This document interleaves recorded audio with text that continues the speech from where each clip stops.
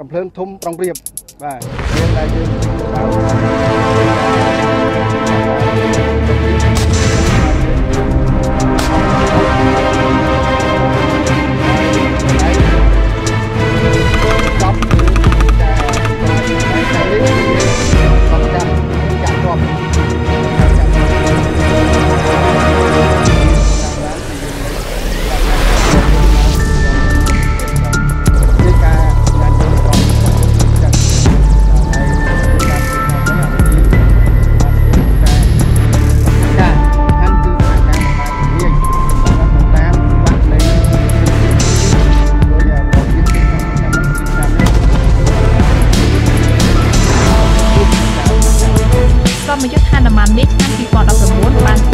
ពេល5ថ្ងៃគឺចាប់ពីថ្ងៃទី4ដល់ថ្ងៃទី8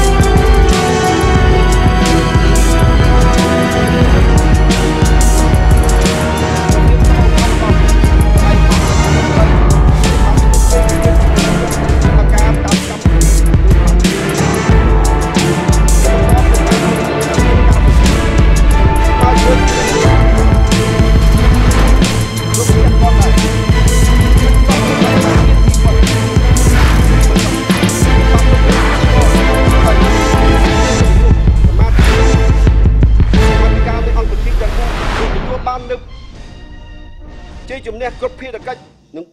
ជួបនៅពលជើងទាំង4ប្រការ